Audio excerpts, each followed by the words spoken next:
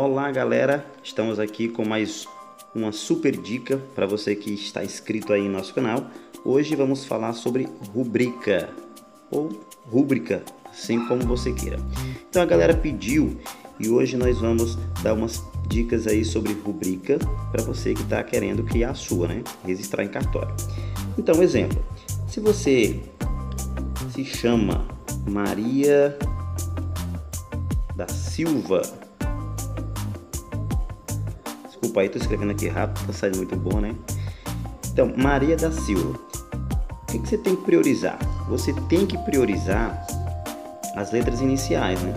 Para criar sua rubrica. Então, Maria da Silva, um exemplo, né? Mais ou menos assim. O que, que você não pode deixar faltar? Você tem que criar alguns traços que sejam bem específicos na sua rubrica, tá ok?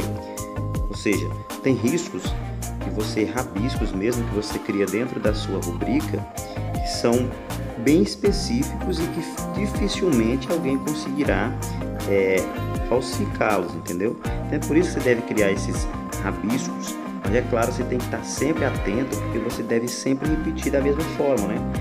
Tem sempre que repetir a sua rubrica do mesmo jeito, porque isso é o que vai caracterizar, o que vai transformar a sua assinatura, tá ok?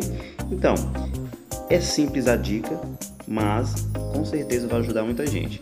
Então, se você tiver algum nome é, específico aí que você queira que a gente dê uma dica, a gente pode também nos próximos vídeos estar também dando essas dicas, tá ok?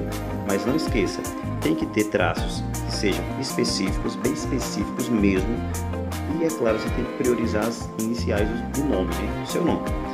E assim a gente deixa aí mais uma dica para você. Valeu! Dê o like aí pra gente, se inscreva no nosso canal se você não é inscrito ainda e a gente agradece.